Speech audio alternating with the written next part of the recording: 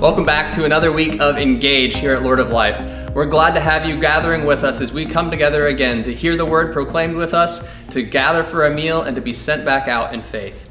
We want to remind you of a few things that are happening at Lord of Life over the next couple of weeks. First, on Sunday mornings, we have lots of opportunities for you to come by the church building and participate in a number of different things. You can bring items for our birthday box collection as part of our God's Work, Our Hands uh, efforts with Angel Reach, where we're collecting items that go into birthday boxes for our foster children in our communities. You can also come by simply to receive a blessing from one of the pastors, myself or Pastor Gary, who will be out front there waiting to greet you and your family.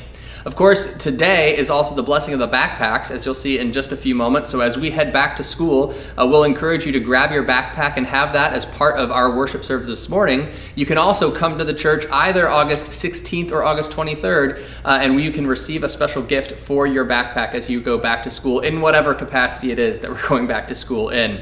And then last, on Sunday mornings still, we have an opportunity for you to come and purchase some fair trade coffee. We've got some wonderful uh, Lutheran fair trade coffee here at the church, and we're uh, giving it out to the congregation. So if you'd like to make uh, that a part of your routine at home, uh, you can come and pick that up here. So every Sunday morning, those things are happening between 10 and noon, uh, the 16th and the 23rd, and then also August 30th. So we hope to see you at one of those events as we start to come back together and find ways to reconnect in these strange times.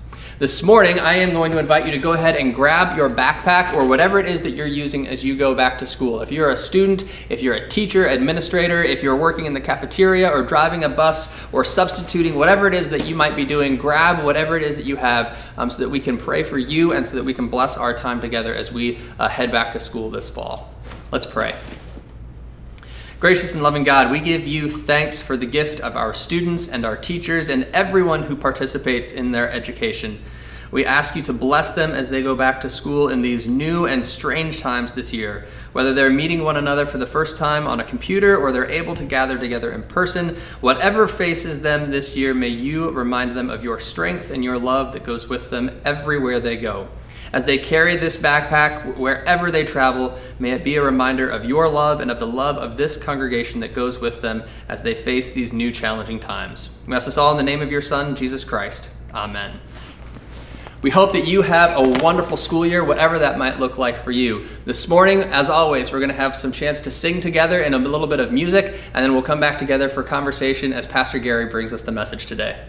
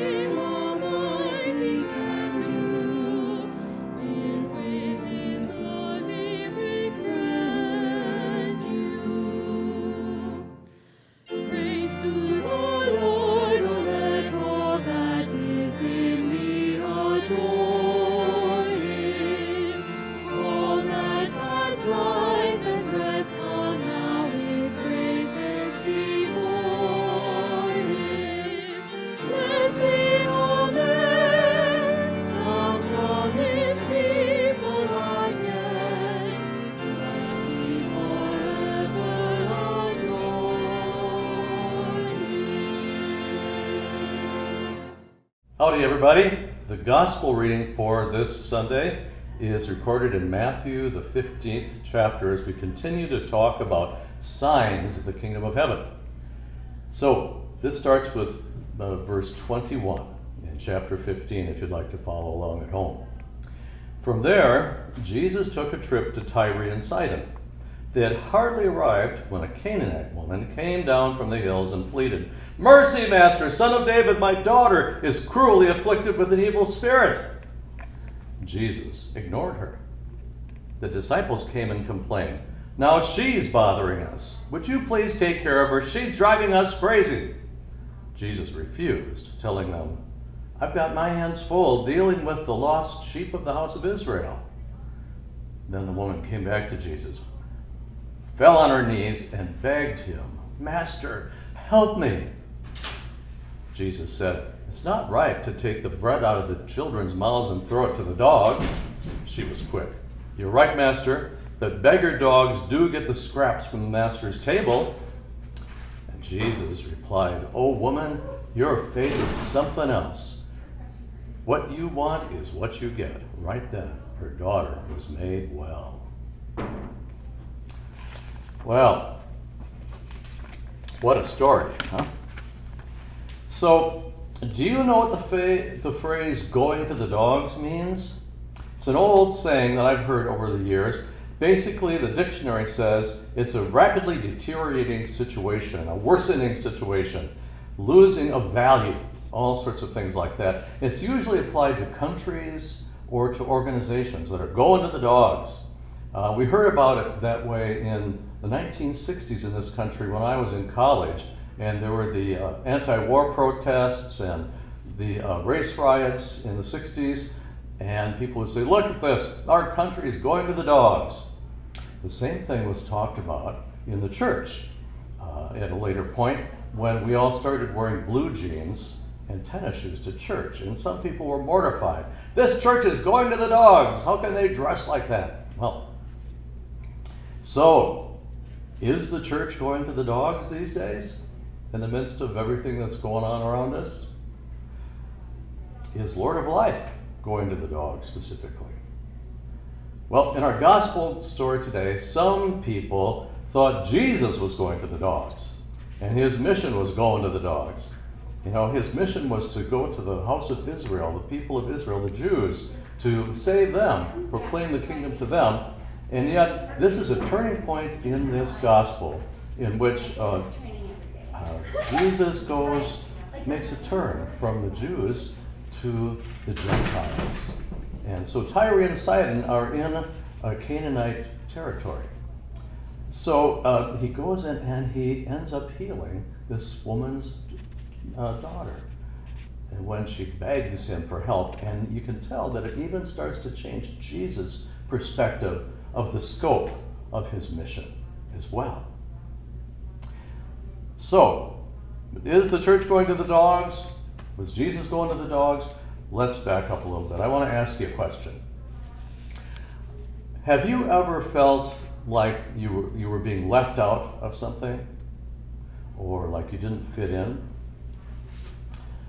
Um, well, our confirmands this weekend have been part of a two year program in which we worked so hard to make sure all of those kids, all 18 of them this year, felt like they belonged, like they fit in, like this was a place for them. And we hope they felt like they fit in and belonged. But eighth grade people, especially at that age of life, one of the most critical things in your life is being able to fit in, to belong, right? And I remember my time of going through that. It can feel like a life and death issue. And, uh, and some kids do even commit suicide because they feel so depressed and left out, they see no hope for their life. Um, well, my experience, eighth grade, I grew up in a family where there was just a lot of conflict and a lot of violence, and I didn't want to have anything to do with that. However, in eighth grade, in my school at least, in junior high, one of the guidelines for being an eighth grader was that you had to fight each other to figure out the pecking order. The boys all had to have fist fights to figure out who was above who and who was below who. And so it came my turn. I kept trying to avoid having these fights by joking or by whatever. But ultimately, a whole group of guys came to me and said, okay, you're going to have to fight Paul Osterhus. Well, Paul was smaller than me and probably smarter than me. We were both in advanced classes, but uh, any rate, so they set the time and we had to meet out in the gully behind the school, and I, I just didn't show up. And uh, oh my gosh, um, I, I just ditched him. And, and you know what? Uh, destroyed my reputation in that school. Even with the girls that I liked, they wouldn't talk to me because I had chickened out of a fight. Oh, it was devastating. It was so tough because I got isolated, cut off in the lunchroom, um, threatened, you know, by some of the other guys, and I just had to keep on avoiding people. It was just the most painful thing in my life to be able to have to be cut off because I refused to fight. I think, by the way, Paul Osterhus was probably relieved because he didn't like fighting either. but at any rate, um, what happened?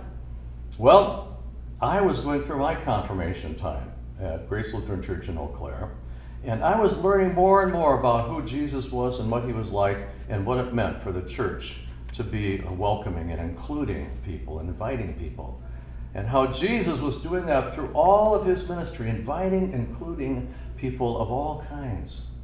And, um, and over time, I came to understand that that was more important to me, belonging to Jesus and fitting in with Jesus, than fitting in with any of my peers. And so, uh, by high school, thank God things change, you know, and, and there were kids um, are growing up a little bit, and we don't have to fight anymore. And um, and I worked my way up to try and get into the in crowd, and I did. I got a job, and I um, made some money. I got a car, and uh, and that made me popular. And I got a whole new wardrobe. And when I came back to school in that, that fall, I Oh, was popular. I got elected to the church, the, stu- the student council even. How do you like that? But you know what? As I grew through this time in my confirmation studies, I came to recognize more and more the people who were being left out, not just me, but others, in school, in, in, and in society, and even in the church. And it became important to me that just as Jesus included me in his family, in his kingdom of heaven, I was called to include others. And that has become, ever since, a part of my understanding of who I am as a Christian, including those who feel left out the least, the lost, the left out, the people on the margins. And so that's been a big part of my whole career is looking for, seeking out those who are on the fringes, who don't feel like they belong, and make sure they are welcomed into the fold. And uh, so that's how some of that affected me because of Jesus welcoming me. That more important than any kind of peer pressure the love of Jesus was what defined who I am and what I was going to do with my life. So, stories like this one of Jesus, demonstrating that the gifts of God, of love, healing, everything, they all belong to everyone. And even Jesus, it seems, had to grow into a broader understanding of what it meant to include people because he first started out just seeking the, his fellow Jews the children, lost children of the house of Israel. And here, this Canaanite woman, she becomes so persistent, desperate for her daughter, who is demon possessed, that, that she keeps on bugging him until finally he relents and he realizes, because she says, he says, it's not good to throw the children's food to the dogs, meaning outsiders. And um, so she says, Yes, Lord, but even the dogs get the scraps from the master's table. And Jesus, you could tell almost like a light went on. You're right. Woman, great is your faith. Your daughter is healed. Wow. Isn't that something? So let me tell you what. I'm thinking of our confirmation kids as they listen this morning too, and this this morning. But all of us, if Jesus had to keep growing in his understanding of his mission and who he was, don't you think we need to as well? To look for in this goodness and grace of God those who are, feel excluded from the love of grace of God and invite them into it. just as Jesus did. And I don't know about you, but I want to keep growing until the day I die, understanding what it means to follow Jesus and be an includer.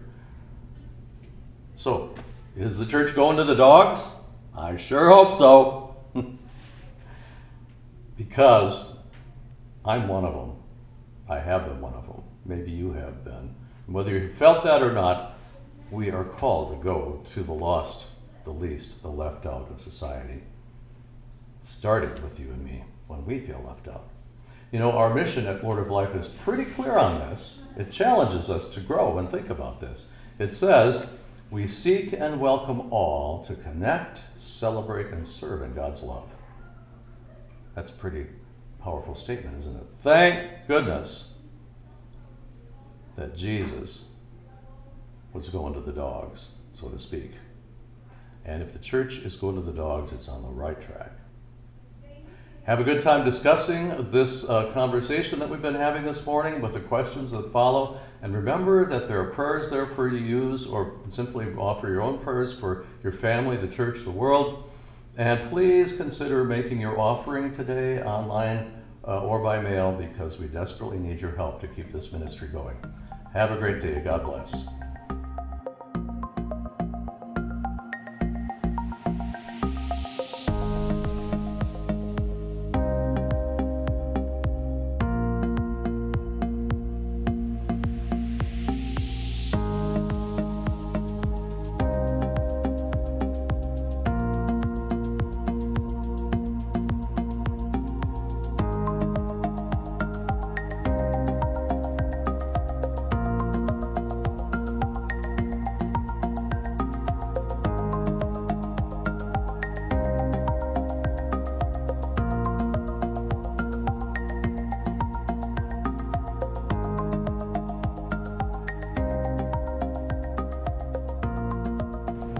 Welcome back. We hope you had a great opportunity for discussion with one another and an opportunity to, to pray for those needs that were lifted up in your community. As we come back together, we're ready for communion. So if you haven't already, we encourage you to grab some bread and some wine or grape juice so that you can join us in this special meal. You know, when Jesus first instituted this meal with his disciples, it was a pretty crazy time. And in the years after that, the disciples and the followers of Jesus would continue to gather in pretty, well, hard to speak of circumstances. Rooms were crowded, things were nuts, people were crying in the background. Who knows what else would have been going on? But in the middle of all of it, Jesus was always present. And so they continued to gather week after week to share this holy meal that we're going to join in together as we again remember that on the night in which he was betrayed, our Lord and Savior Jesus Christ took bread, gave thanks, broke it, and gave it to his disciples, saying, Take and eat. This is my body given for you. Do this for the remembrance of me.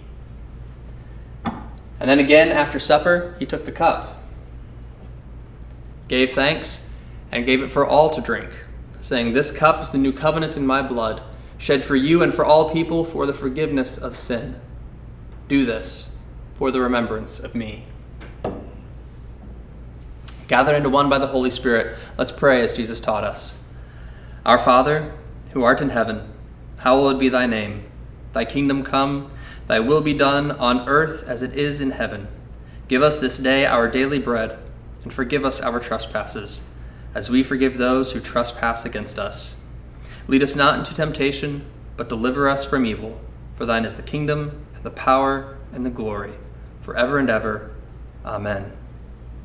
As we share in the meal together, we invite you to use the words, the body of Christ given for you, and the blood of Christ shed for you. So now come to the table where all are welcome, for these are the gifts of God for the people of God.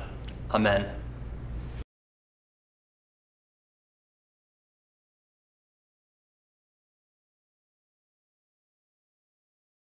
So now, as we're sent back into the world, we invite you to receive this blessing.